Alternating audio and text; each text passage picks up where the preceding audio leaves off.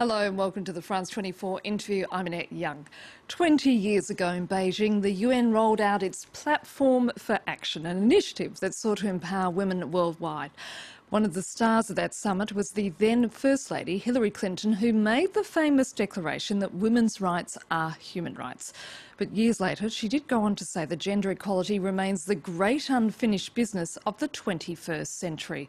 So, as we mark International Women's Day in 2015, where exactly do we stand 20 years on? And here with me in the studio today is the head of UN Women, Phumzile Mlambo Ngcuka.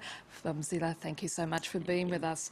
So, 20 years on from that Beijing initiative, how much have attitudes changed? Uh, the glass is half empty in the sense that uh, we have seen some progress, very uneven and very slow. Uh, in education, for instance, most countries made tremendous uh, progress, especially those that started at the bottom.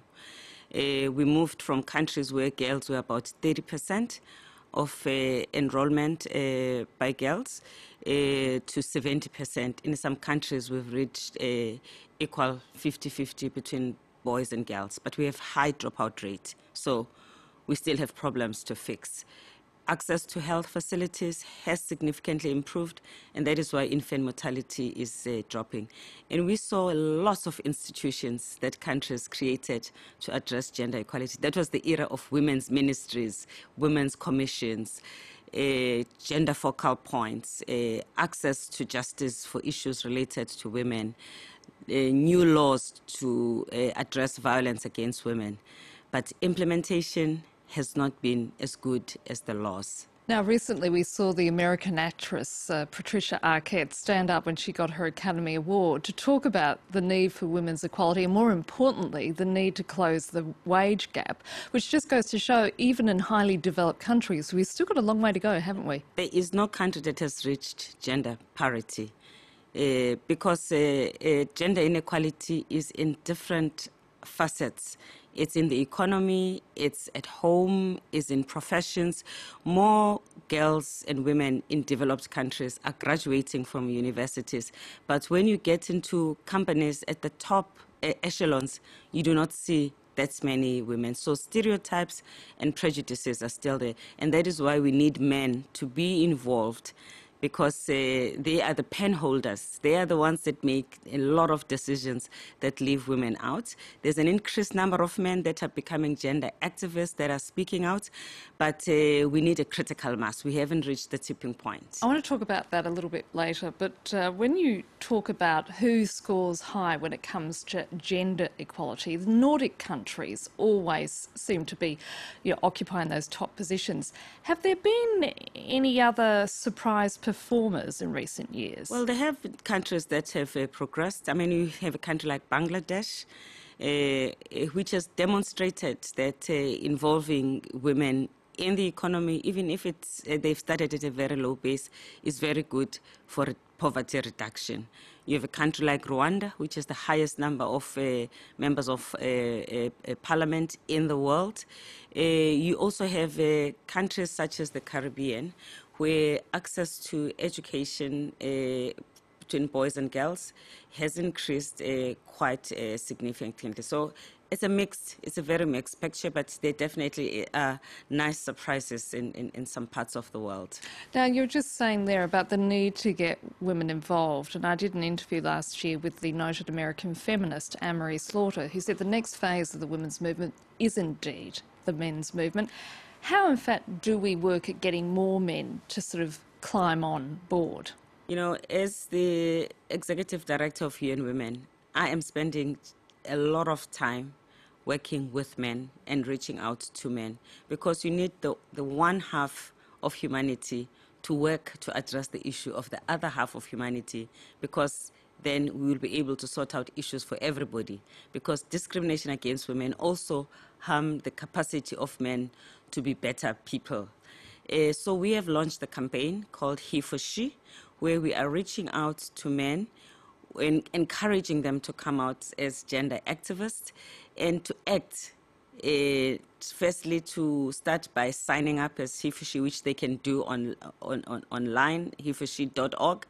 But offline, they must then take action. If they are CEOs of companies, we are asking them to go to the treasurer of their companies and to look at whether there is equal pay for equal work between the sexes in their companies. If they are heads of state, we are asking them to do something unparalleled in their country to address issues that are hurting women in their own countries. But isn't it sort of not a case of a, a generational revolution in the fact that men of my age, mm. that much older, have much more in common with their fathers than women of my age have with our mothers?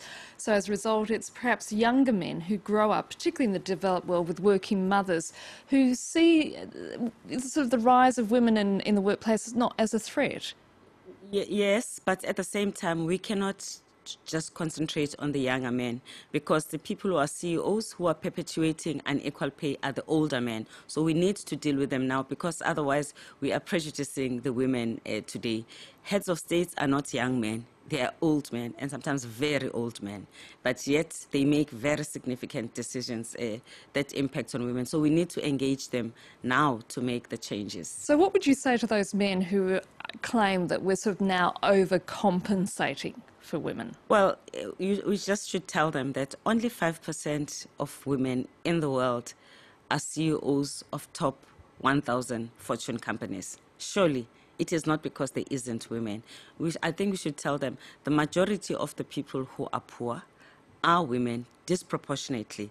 We must tell them that there's one billion women who live with violence, with one out of three women uh, likely to face physical or sexual violence. We must tell them that it is more dangerous in some countries to be a man, to be a woman, sorry, than to be a soldier when there is a conflict, because the conflict targets women to humiliate them, to rape them, to kill them. And that is why the majority of people who suffer when there is a conflict or a disaster, it's women. So but, but, we have seen a sort of pushback, if you like. We have seen a backlash against feminism, haven't we, in the last 20 Yes, we have seen. That is why we've got to get the men to be also part of the struggle. We need the men's movement so that it's kind of like, you know, dude to dude.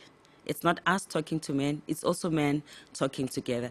And I believe that we're seeing more men now that are willing to stand up and to say, I'm a feminist.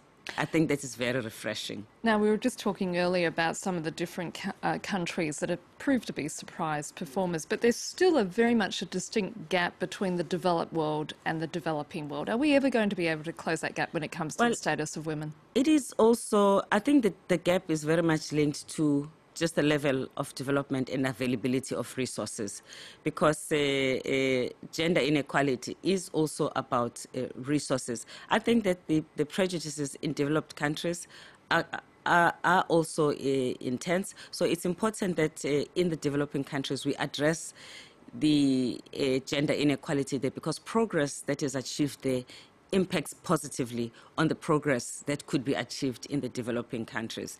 Uh, but uh, the challenges in developing countries is much bigger because of the levels of poverty. The pain is that much stronger. But having said that, there are certain practices that are much more uh, uh prominent in developing countries that are far-reaching on women, like early and early child marriages because that just kills the life of a child at a very early age, uh, or, or genital mutilation. That also uh, is deforming, is harmful, and you, and you can never quite uh, get that the life of the girl back in the same way.